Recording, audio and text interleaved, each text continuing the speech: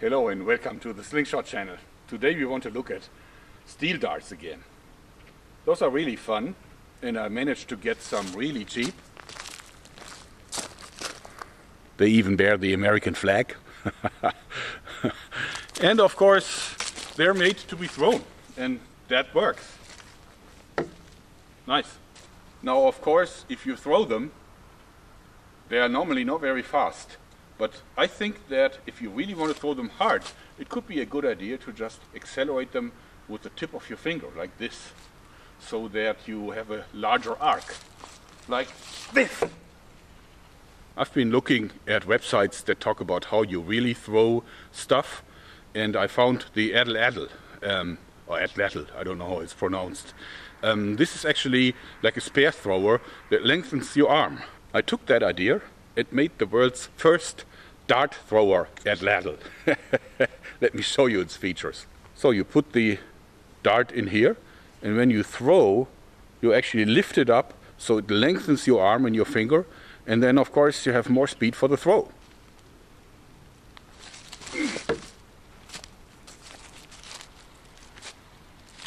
Oh. I really like my new atlatl for darts. But this would not be the Slingshot channel if you would not take that idea and make something really ridiculous about it. My idea is to take a clothespin like this that can hold the dart just like a man can and then throw it simply by releasing the uh, clothespin at the right moment like this. Oops.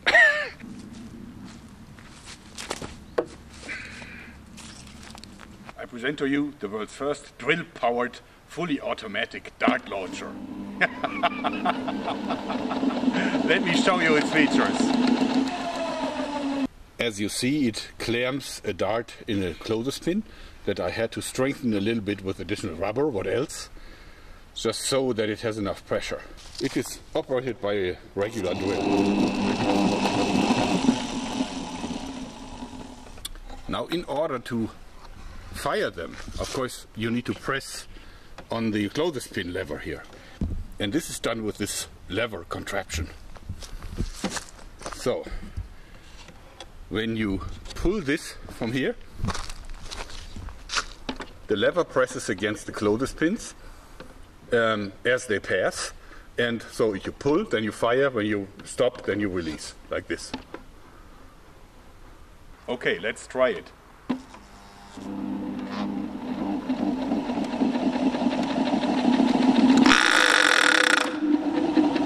It works.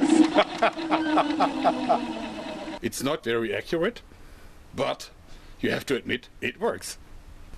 It's quite some penetration. All right, one more try.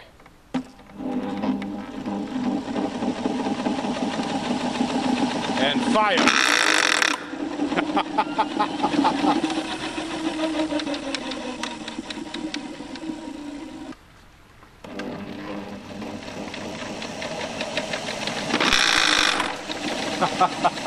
spray and pray.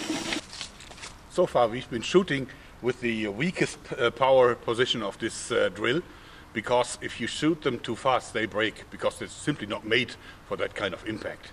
But we can screw it up and just see how much stronger it can get. Okay.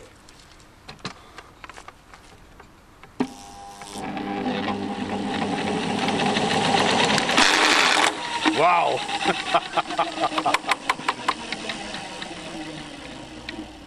Some hit really high. Most of them are on target. And of course the penetration is maximum. They just went into the hilt. And as you can see, the closest pins are not made for that kind of uh, stress. So they break off and need a replacement. By the way, when building such a device, you have to be very careful because some of the test shots can be really strange. I'm running a contest on the forum. You can win something. I can't talk about that here on YouTube because it's against the rules. But if you want to participate, you find the link to my forum right in the text description. So, I hope you like this because